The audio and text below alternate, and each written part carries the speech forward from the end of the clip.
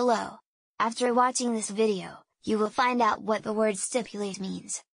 To require something is a condition of a contract or agreement. Give a guarantee of.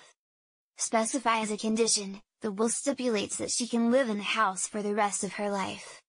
Make an oral contract or agreement in the verbal form of question and answer that is necessary to give it legal force.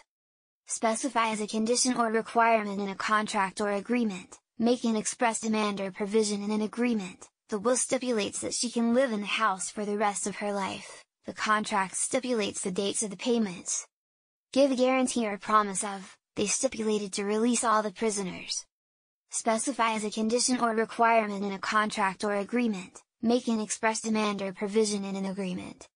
Give a guarantee or promise of.